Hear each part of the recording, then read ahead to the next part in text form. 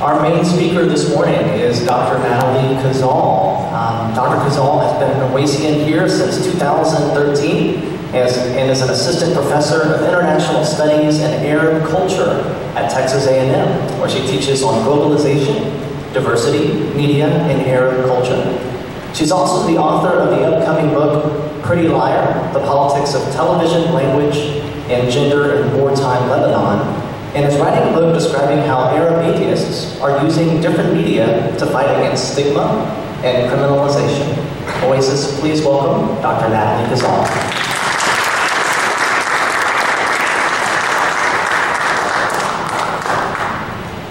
Hello. Thank you for coming for today's uh, Oasis. Um, hold on.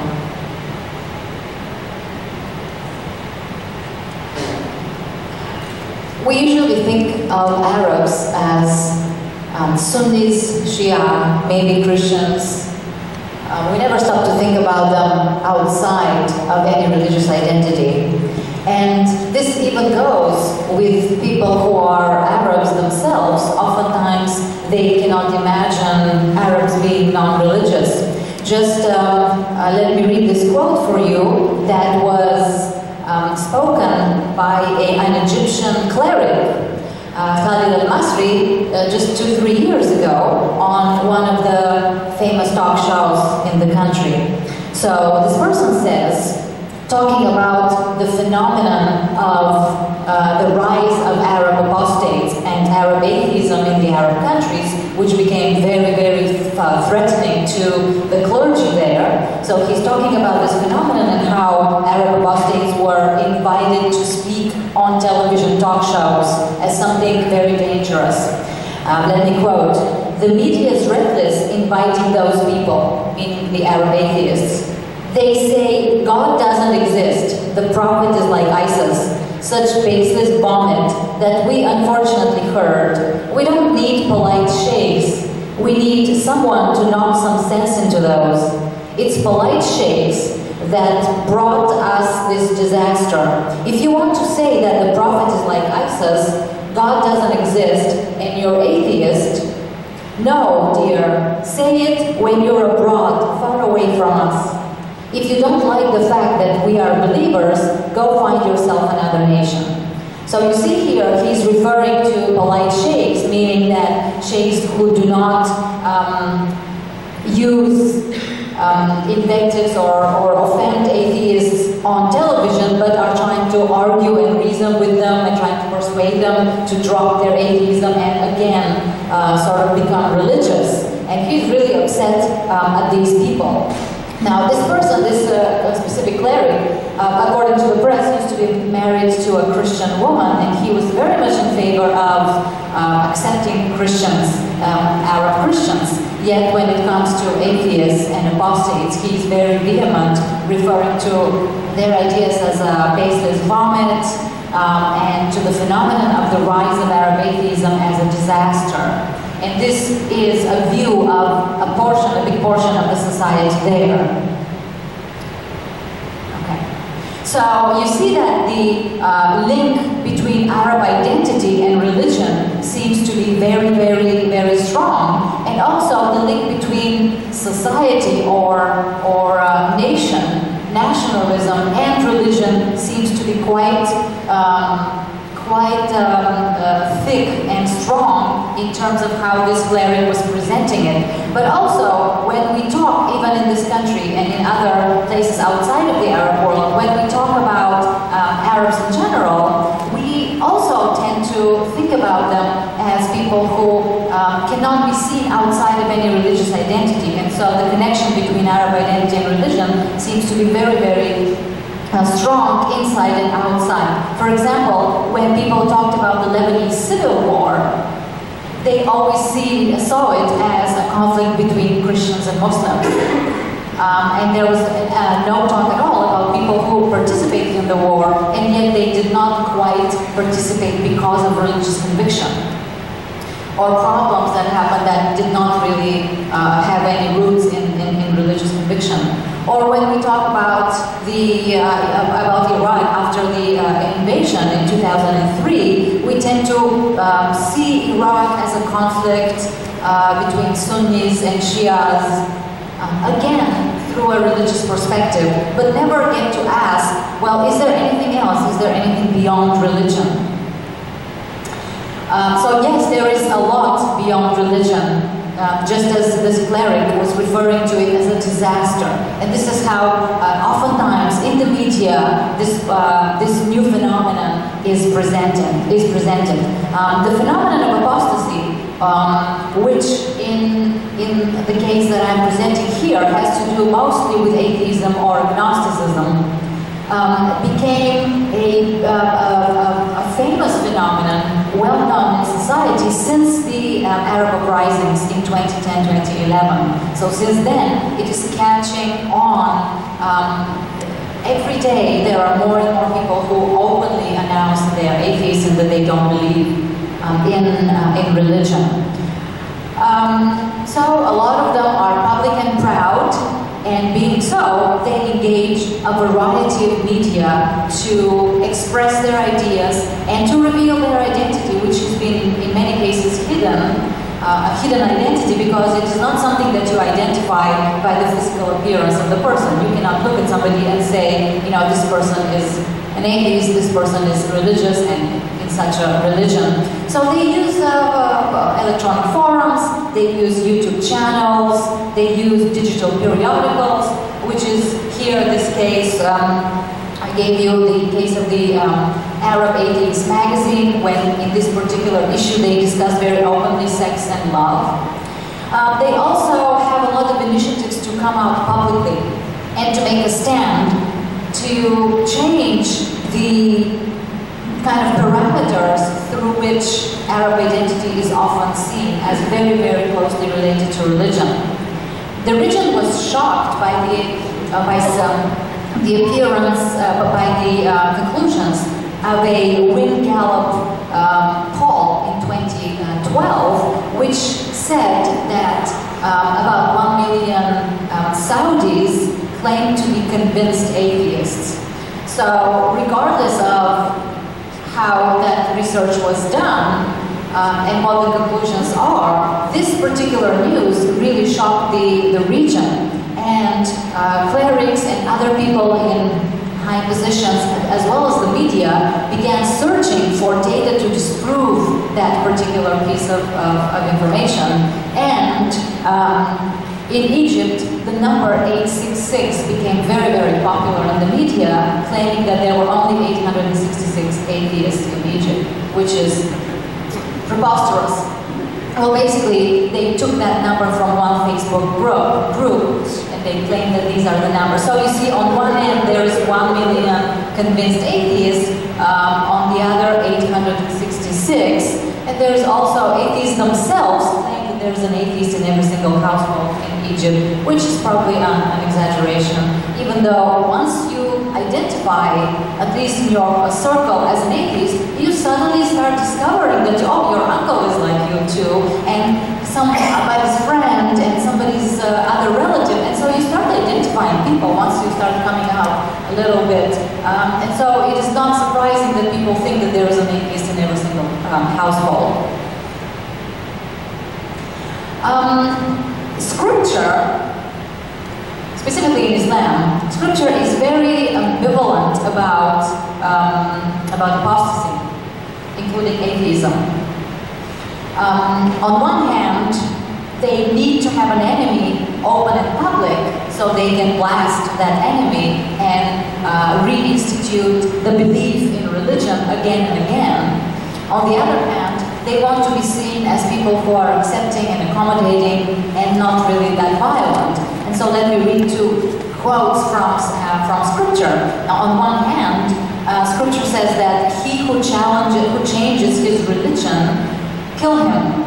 On the other hand, scripture says there is no coercion in Islam. So you see, this gives you a leverage to argue pretty much in relation to apostasy and atheism and try to use scripture to justify your views, whatever they were. Of course, people have noticed that when, uh, in the first quote, when you change your religion, um, you should be killed. Well, does that mean that if you became, if you were a Christian and became Muslim, then you should be killed? And of course, the answer of Muslim clerics is absolutely not.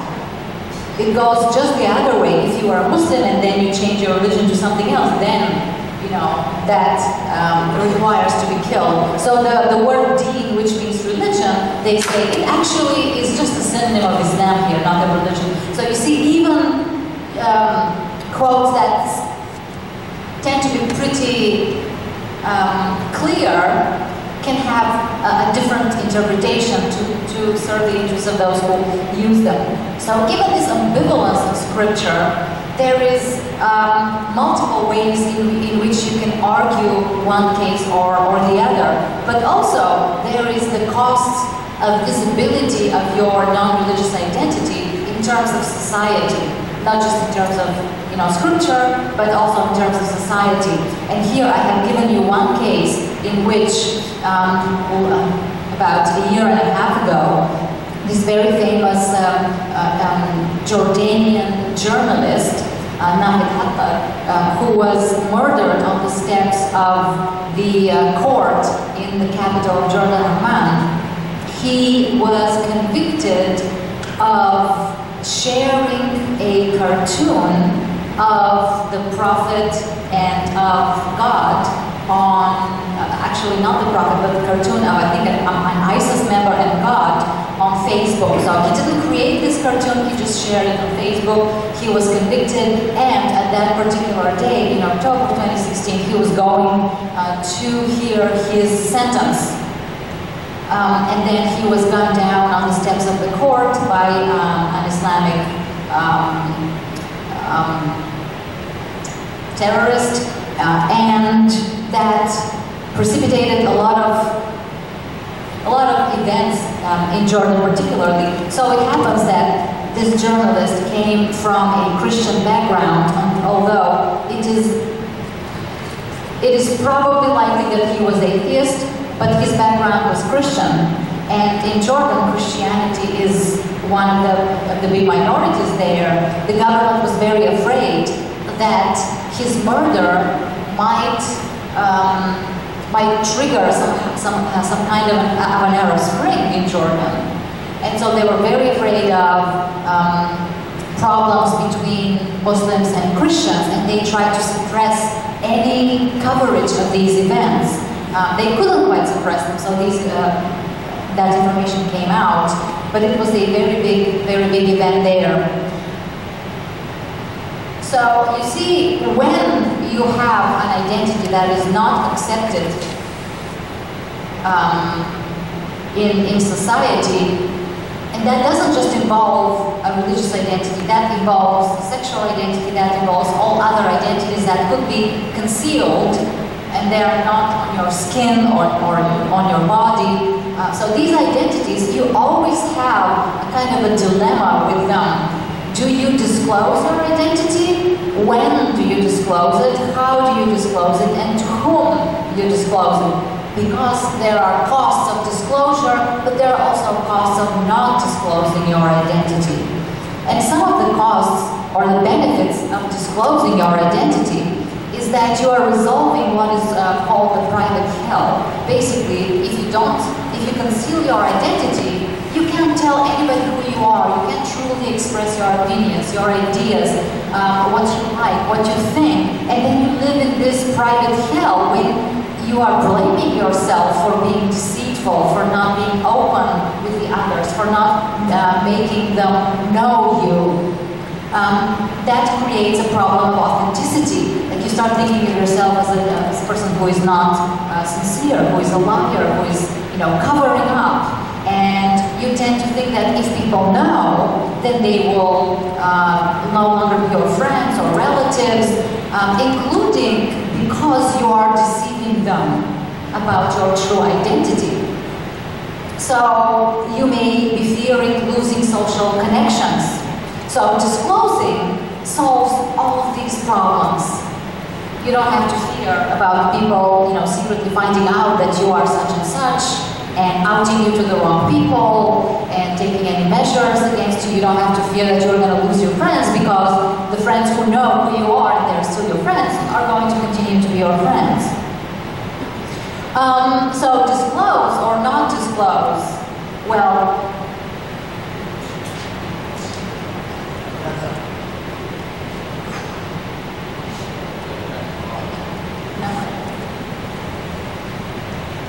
Well, the um, the um, benefits of not disclosing, of course, um, is very, very high in terms of Arab atheists because, as we know, they have a lot of uh, a, a, lot to lose if they disclose their identity. They could be uh, put in jail in some countries. Uh, very rarely, but it may happen that they could they could be killed, usually by a mob or by a terrorist. Um, they could be um, thrown away from their family.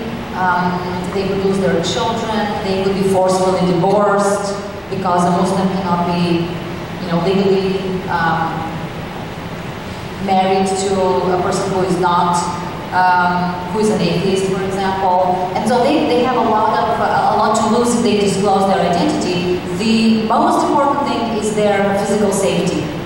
That's what they really uh, have to lose. So disclose or not disclose, on average, research shows that it is much better off to, you are much better off to disclose uh, than not to disclose, especially long term.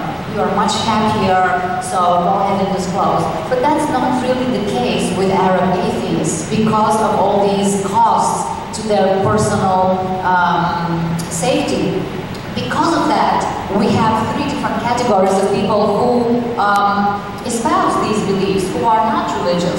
One category is people who are private. They, some of them never tell anybody and they just pretend to be religious as little as they can. Or pretend to be like a non-practicing Muslim. Um, there are people who are private, maybe they have told a few friends, maybe their family, like a sister, an uncle, uh, but they're still, they still consider themselves private. They don't want to jeopardize not just themselves, but also their family, because the family is, is going to suffer as well, not just uh, they themselves. There are people who uh, are a little bolder, and they are, we may call them semi-public. They uh, go and disclose their ideas, but they use kind of a, a, um, a pseudonym or maybe even anonymously to disclose these ideas and they hide their face, they hide their body, they hide their name, their actual identity, but their ideas are out there. So they have kind of a double life, so to speak. And there are people who are openly public. They go and they disclose absolutely everything. Um, or they try to disclose a lot uh, the case of the masked Arab would be what in these three cases? Huh? It would be the second one, yeah, it would be semi-public. So he has a he has a pseudonym, the masked Arab, and also you see here he's trying to hide as much as possible from his face so that he's not quite there. So he's public in a way that is not quite public. There is some things that he tries to preserve as uh, private. Um, so um, it's very difficult to be private, even semi-public, if you are invited to be a speaker, a guest speaker to a talk show. And I'll show you one case in which uh, this person tried, attempted to be that, and it didn't really work out very well. Um, but the media became very interested in this phenomenon because so many people, especially the young generation, are revealing left and right they are not religious anymore. Um, and the media started being very interested, not only because this is something alarming, but also because this brings a lot of um, viewers. So their ratings go up, and they really tend to want to bring people who are um, controversial and make for high ratings. Um, I discovered over 100 television talk show broadcasts that uh, invited uh, atheists as guests or talked specifically about uh, Arab atheism with some participation, uh, maybe interviews um, on camera with Arab atheists.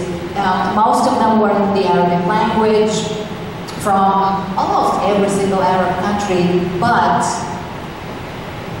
but uh, some of them were in other languages such as Swedish and, um, and, and, and English, um, etc.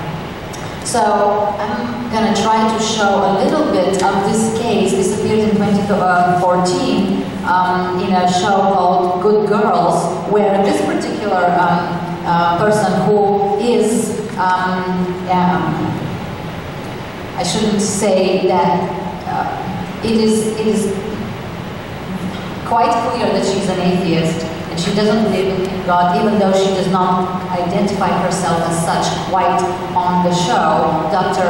Nuha. And what is it called?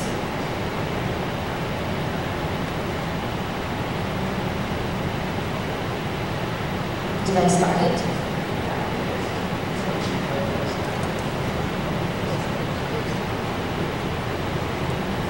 آه، مش مش مش محجبة صح؟ لا انا مش محجبه مش حاطة ده بس أنا حاطه ده عشان متعمده طبعا اخفي اسمي واخفي شخصيتي خوفا على حياتي مش عايزه اتقتل زي فرنفوده وطبعا مراعاه لشعور اسرتي متدينه جدا جدا وطبعا مش عايزه اجرح شعورهم لما بتكلم في في حاجات خاصه بالاديان بيزعلوا فانا مراعاه لشعور اسرتي مصر كلها تزعل دلوقتي مصر كلها بالعكس أنا جاية مخصوص عشان مصلحة مصر. لا أنا اشمل لكن بتقولي مفيش قرآن كريم. أنا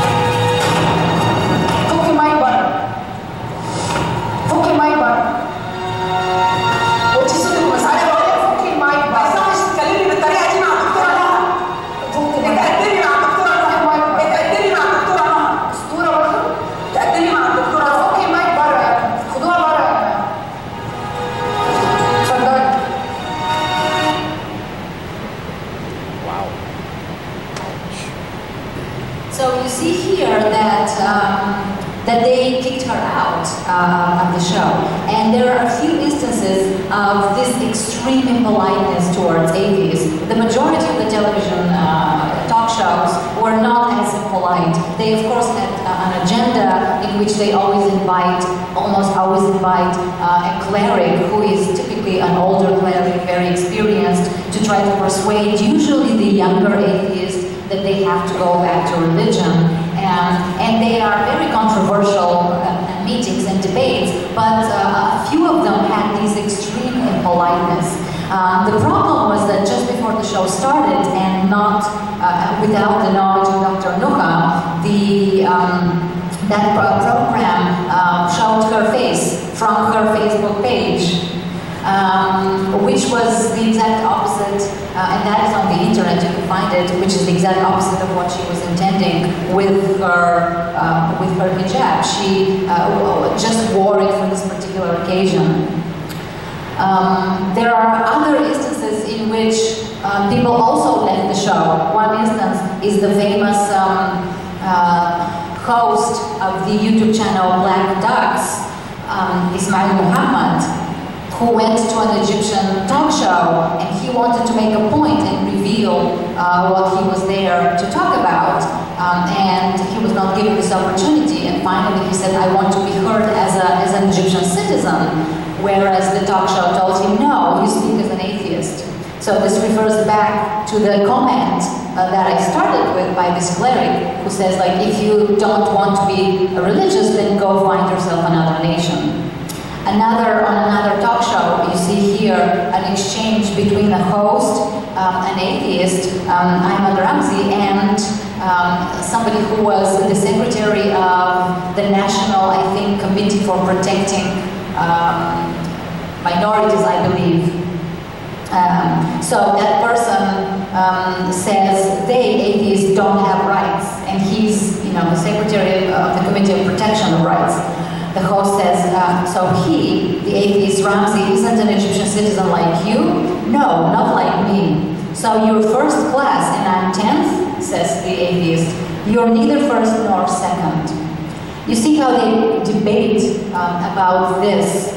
So in conclusion, I just want to say that these talk shows, they are bringing a lot of visibility to, uh, to uh, Arab atheists, not only in their own country and in the whole of the Arab region, but also global For example, in this particular case, there was a hyper media event in which um, people commented on that expulsion and they usually commented very negatively on the host herself saying that uh, to her face you are psychologically sick and you use people in way in a way that is not normal the way you debated her, debated the atheist, you brought so much negative attention to Egypt and the nation. You made many people, many more people sympathize with Noha. So the comments were really negative about the presenter, about the host, which shows us, um, and also that is true for other um, for other uh, talk shows. It shows us there is a um, that television talk shows may be part of creating a more critical generation of audiences that are not exclusively on the side of religion, but that really have a, a, a lot of critical insights towards exchanges, debates, and the limits of religion regarding Arab identity. Another thing that you can't prove yet you can ask yourself this question is, what these television shows, um, do they have any impact really in, in real life? So um, it, some of that shows us that what we might perceive as a homogeneous identity, for example, in Egypt, that all Egyptians or almost all Egyptians are Sunni and they have uh, the same opinions, is actually not true. That there's a lot of different opinions there and they are debated on a regular basis. Um, and that also shows us that there is this relationship between the majority culture of Egyptian Sunni sort of ideal uh, Egyptian culture and different minorities, including atheists, who um, it's likely that, that at some point they will become the equivalent of a religious minority. Look at the uh, census in Egypt. Early, in earlier censuses, there were only three categories in the box for religion, Islam, Christianity, and Judaism. In the 2017 census last year, they added two more boxes, one other for another religion, and also undisclosed. And Egyptian atheists have found that this may have something to do with this vast um, and very quick opening up of the young generation to disclose their non-religious identity. You can't draw an actual causal relation, but there is a question to be asked here, and maybe in the future somebody will uh, do some research on that. Apart from that, the genre, the specific genre of the talk show, is it a solution for the dilemma of Arab atheists where they cannot disclose, they want to disclose? What does that tell us? Well, there is a variety of, of, of, talk shows, starting from trash talk to political satire to daytime um, entertainment such as on Oprah to the uh, public debate. Uh, do you recognize this person in the middle? Phil Donahue. Phil Donahue, yeah, the very famous Phil Donahue. So in the case, in the Arab case, this exposed television talk shows sometimes when the format of the talk show somehow falters, it exposes the hidden agenda of the media to sort of portray atheism as a negative phenomenon. Uh, I'm just going to give you this last case, and that is the end of my presentation. Um, in 2016, again on an Egyptian program, uh, Stop Shop, there was uh, this uh, young cleric that they invited, and I believe they did so because older clerics usually lose the debate, and the younger audiences are not really persuaded, and so they try to attend something different. They invited a younger cleric um, against an atheist and another person. However, the young cleric proved to be what was uh, later commented on the internet as very stupid. And he made a huge mistake where he mixed the two, two people. He was holding a book and he mixed two people. One was uh, Charles Dickens and the other was um, Richard Dawkins. And so, so he was trying to make an argument against Richard Dawkins, but he confused the two names. And the atheist is, was trying to help him, like, do you mean Richard Dawkins? Do you mean this? And do you mean that? And he was like really so confused, and he proved to be so um, um, unreliable as a source of information that only about 20 minutes after the beginning of the program, they um, they just they pulled the plug and they just interrupted and stopped the program and they did something else completely. And so in that case, when the format is interrupted, you can see the hidden agenda. And it is very obvious why they did that. So I think that maybe the format of the talk shows, when it is questioned, may be actually helping to expose the hidden agenda and to help the public um, acceptance of babies. Thank you.